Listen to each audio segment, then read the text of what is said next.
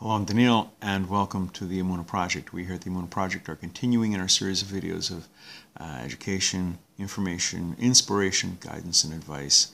And I'm reminded of another story uh, that happened in the travels of Reb Zusha and Reb uh, Elimelech, his brother.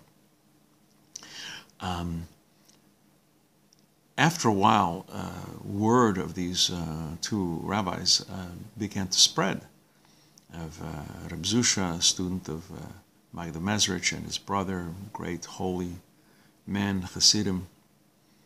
And they would go to um, a town, um, Ludmir.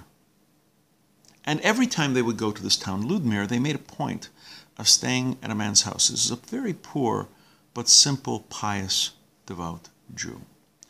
Well, hearing of their travels, a wealthier man decided, listen, um, why don't you borrow um, my horses and carriage, and my horses and my wagon, and uh, you can go to all these places, but you don't have to walk here. Like, borrow my horses and my wagon. So they did. They felt very grateful. They go to Ludmir. As soon there was a very rich man in Ludmir. As soon as he heard that Rabbi uh, Elimelech and Rabbi Zusha arrived in the town, immediately he went to them and offered for them to stay at his house, a big, beautiful house. He says, Please come, I'll take care of you. I will give you food, I will give you drink. And Rabbi Zusha said, We've come to this town many times before. You've never offered uh, to take us in as guests. You've never offered us anything. The only things that has changed is our horses. Uh, so why don't you take the horses as guests? Give, take care of them, feed them, give them something to drink.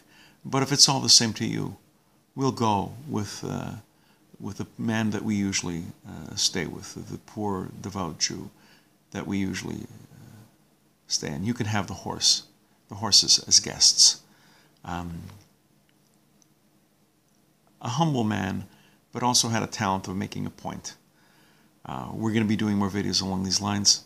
Please come back. Please watch. Please learn. I hope you're finding them of some uh, use, of some inspiration uh, into your daily lives. And until next time, on behalf of the Emunah Project, I'm Daniel, and thank you too much.